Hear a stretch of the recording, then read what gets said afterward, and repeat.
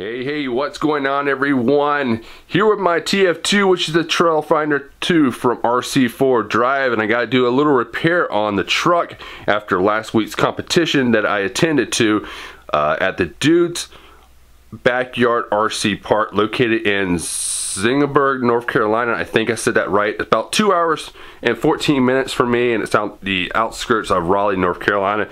And I decided to go up there for the competition, you know, not to really you know, get into the whole competition up, but just go up there and support a good friend of mine and, uh, you know, make my presence there and stuff. So he had a C1 class and a C2. I took out, you know, the Trail Finder and my Axial SCX 10-2 to run.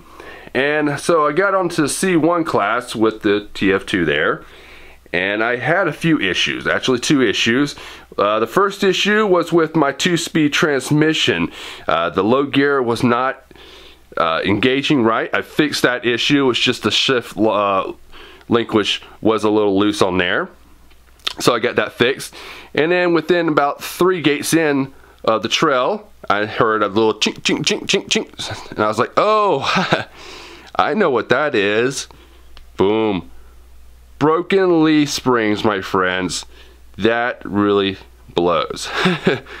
and I did not have a backup set with me, so pretty much my run didn't even really start. I didn't really get into all the good stuff until that happened. But this is also my kind of fault for this right here. Alright, so a few months ago, I actually broke the driver's side leaf spring, the main one, and I changed it out, but the thing I did not do, I did not change out the passenger side.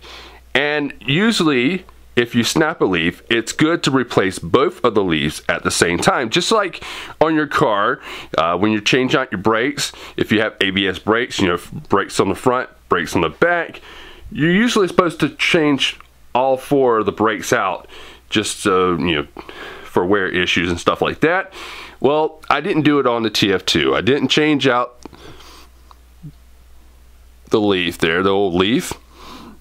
So, as you see, it broke. Now, another reason I'm thinking why I'm breaking leaves, because this is my second set that I broke, and I'm thinking one thing. Now, on the TF2, I do have the O-ring mod.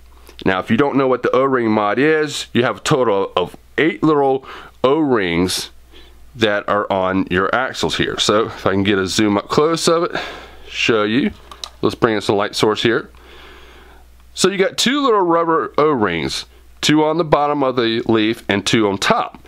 This actually creates more flex for the TF2, all right? Which is a great mod and it's a very cheap mod to do. But I'm also thinking that this mod has a downside on it, all right? So here's my thinking of it. All right, so you got a small little gap. You see that? You got a small little gap there, right? So I'm thinking it's weakening the metal right there. You know when you take like a piece of wire and you bend it a few times, eventually that wire is going to snap, it's going to break. I'm thinking that's what's happening. So, let me get some light up here so we can see. Ah, there you go. All right. So, like I said, I'm thinking that in the metal, it's getting very weak, and it's what's breaking. And it's always breaking right here at the screw holes.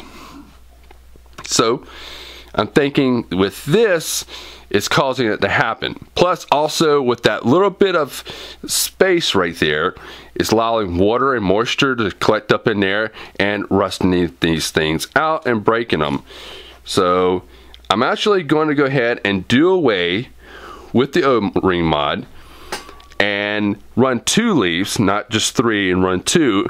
See how that works and uh, test it out a little bit and uh, see if I'm going to like it or not. And maybe if I don't, I'll have to look at another means of getting a little bit of flex out of it. I might even possibly like it without all the flex and stuff and drive it like a real average everyday vehicle. so that's what I'm going to be doing, fixing this little issue. So, all right, So I got my work cut out.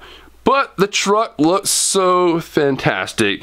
It's definitely got some aging to it. Love it. I did the uh, painted the hood the other day and uh, they came out pretty nice. Interior, little Coke bottle there. Got Fred. Fred, the old man driving. Back here, all my little scale stuff. Look, Bass Pro Shop, uh, little toolbox. There's a Ridgid toolbox right there. If you guys can see that, we'll bring it to light. Ridgid. Now these are all like 3D printed parts that I got from a buddy of mine, little toolbox, Home Depot on it. Just extremely cool rig. Really love it. It's a lot of fun. All right, my friends, so I'm gonna go ahead and get into uh, changing out these leaf springs so I can get the vehicle running so I can go out and crawl.